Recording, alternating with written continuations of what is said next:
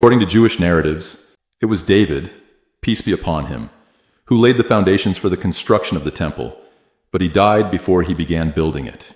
His son Solomon, peace be upon him, was the one who built the temple on top of Mount Moriah, which is known as the Haram Plateau. This is the place where Al-Aqsa Mosque and the Dome of the Rock are located. Do you know the origin of Solomon's temple? Did he build it? Sheikh. Yes, he did. It was said that Abraham, peace be upon him, built two temples, or two houses of worship to God. The first house is the Kaaba in Mecca, and the second is in Jerusalem, which is the holy place. The children of Israel kept there an ark called the Ark of the Covenant.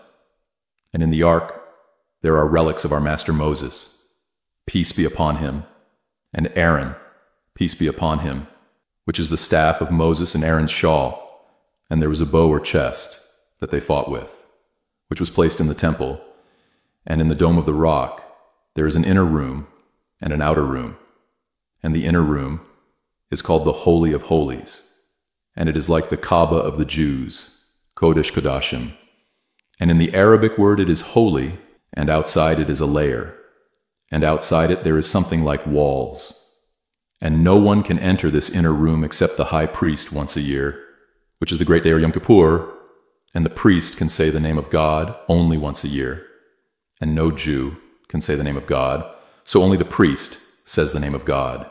There is a great misunderstanding among many Muslims who believe that when Solomon, peace be upon him, ordered his people to bring the throne of Sheba to him, it came through a powerful jinn called Ifrit.